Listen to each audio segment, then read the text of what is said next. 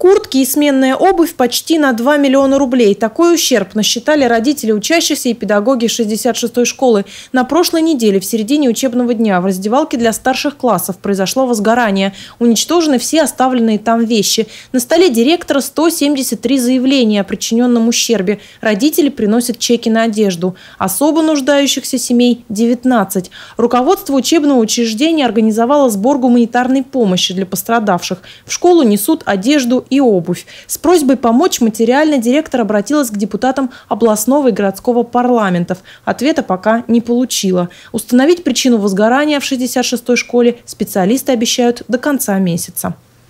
Помощь принимается в любом виде, в виде денежных средств, которые а, могут перечисляться на специальный счет, номер счета указан на сайте школы, либо а, вещами. Вещи можно приносить в канцелярию школы. Принесли 11 курток. 11 курточек, три из них э, мы уже выдали детям, забрали дети, которым не в чем было ходить.